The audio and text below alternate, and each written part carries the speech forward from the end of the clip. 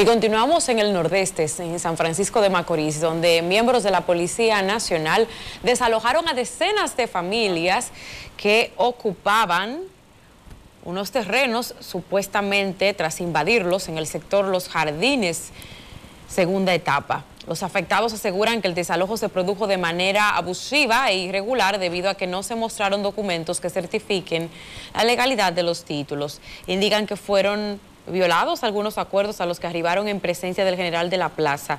Los agentes destruyeron varias viviendas que fueron levantadas en el lugar, según los ocupantes, con inversiones ascendentes a los 200 mil pesos. Agradecemos a Agenda56.com, nuestro aliado en la zona, por enviarnos estos testimonios que vamos a escuchar a continuación.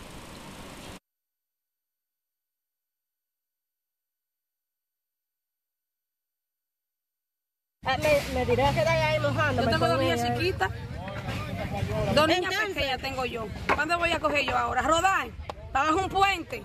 ¿Para dónde voy yo ahora? aquí vinieron y dijeron que había un desalojo sin papel ni nada. Aquí no se mostró nada. Aquí no hemos visto el, dueño, que supuesto que dice que es dueño. Ahí hay ocho muchachos, mire, mírelo, que no son que lo han traído. Esa lo parió esta. Y aquí vinieron y tumbaron. Porque vieron algo, por eso. ¿No lo notificaron antes a ustedes que venían para acá? Vinieron que había un desalojo. Nada, que vinieron aquí sin una orden, ni siquiera nos mostraron un papel. Nosotros estábamos hasta durmiendo porque no, no esperábamos esto. Yo tengo cinco días de operada y ellos no respetaron nada. Imagínese usted, donde aquí todo lo que somos, somos gente de trabajo, gente seria, que si yo pudiera notar, la policía y todo el que vino, que aquí no hay un delincuente. Yo considero que esto es un abuso, un atropello que han hecho con esta familia que viven aquí.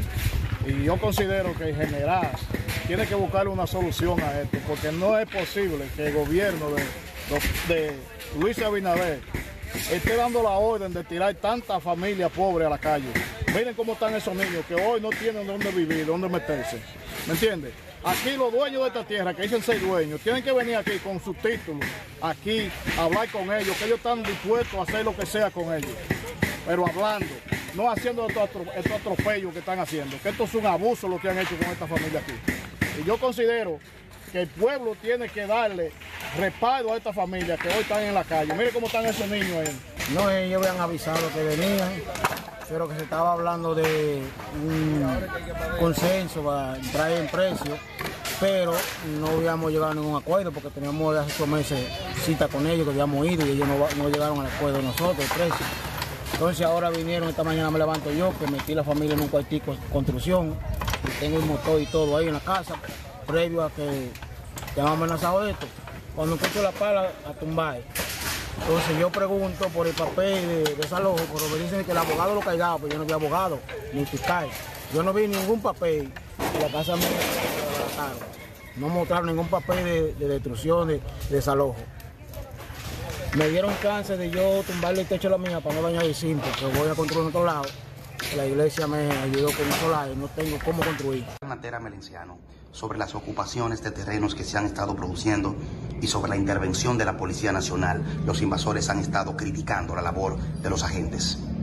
Sí, buenos días, Vladi, buenos días a todo el que escucha estos medios.